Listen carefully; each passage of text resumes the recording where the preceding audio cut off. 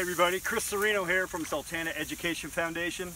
Today we're going to be doing some basic emerging wetland plant ID. The first plant we're going to ID right here is called Phragmites. There's a native strain of Phragmites, but mostly what you see is this invasive strain. It can get to be 12 feet tall. It forms these really, really dense colonies. One of the problems is that once this gets established, it can take over whole lengths of streams, crowd out native plants, but on the other hand, it's really good at protecting shorelines from erosion, and it is pretty good habitat for a couple of birds like marsh wrens and red-winged blackbirds in particular.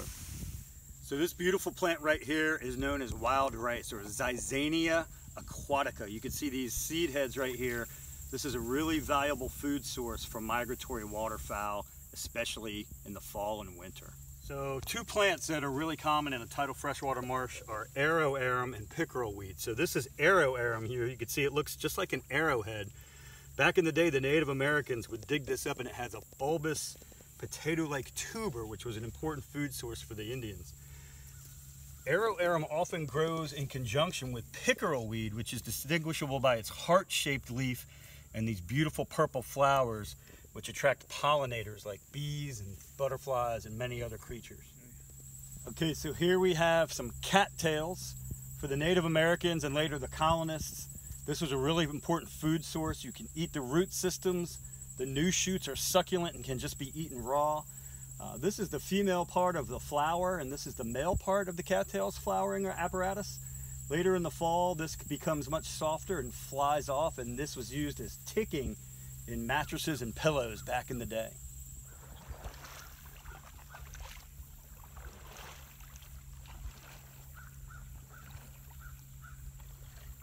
So this gorgeous native flower here is called marsh hibiscus or swamp rose mallow. It's got five petals.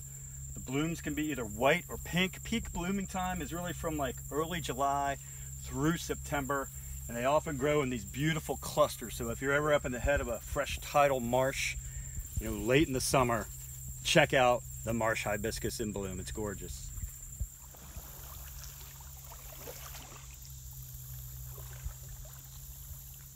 So this plant right here is called big cordgrass. It's one of three types of Spartina grasses that we have here in the Chesapeake region.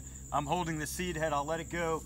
You can see that it can grow up to 10 feet tall one of the really impressive native grasses here in a tidal freshwater marsh. So this little pink flower here is called Seashore Mallow. You can see this one's just about to start blooming.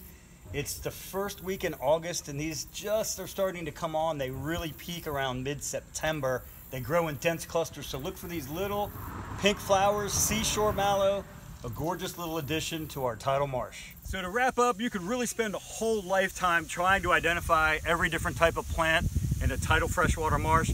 But if you know these great eight, Phragmites, big cordgrass, marsh hibiscus, seashore mallow, wild rice, arrow arum, pickerel weed, and cattails, you'll be off to a really good start to familiarizing yourself with the flora of the marsh ecosystem. That's all for today. I hope you guys come back for some more cool wetland videos.